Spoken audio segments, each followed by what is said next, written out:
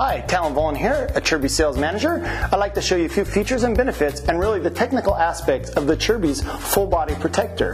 The first feature I'd like to point out, which really separates this body protector from any other in the market, is that it separates in two pieces. So you have your jacket separated from your roost deflector.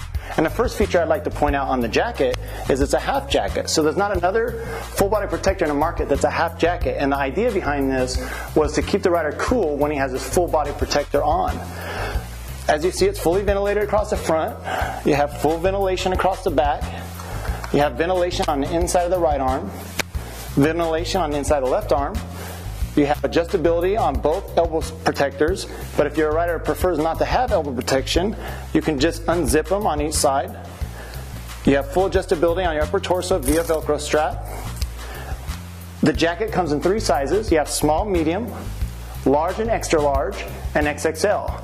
This is a great jacket. I prefer to ride with it, particularly under my jersey. Helps keep me cool when I'm in the desert and riding cross country.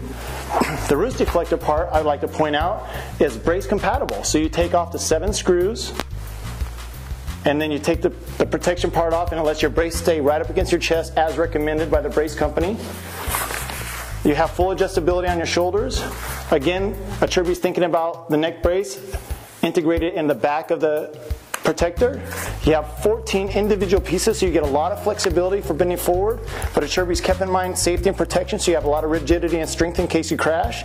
Speaking of protection, Acerbis has a built-in liner which has extra padding inside, but inside of the liner you have D3O, which is high impact shock absorbing gel. So if you want to know more about that, you can YouTube D3O, but this is a very important and protective product. Another cool feature on the back of the deflector is if you have a shorter torso, just a few snaps, you can take the bottom out, and that way you won't get it digging in the lower part of your spine. It also has removable kidney belts, as you can see just here. but I personally never remove my kidney belt. I'm going to show you why. This is like the coolest little feature. Once you have your jacket on, then you strap, you put your roost deflector on, you strap your kidney belt, and then we have a cool little feature here that's a strap down. So besides, you know, putting in your straps on the side, you get that little strap down there. And what it is is it holds your roost deflector part in very solid. That way your, your brace is up against you and it won't bounce up when you're hitting jumps or bumps riding. These are some of the cool features and aspects of the Acerbis Cosmo full body protector that I feel really separates it from the competitors in the market. I'd like to thank you for your time and thank you from Acerbis for checking out the Acerbis Cosmo Roost Deflector.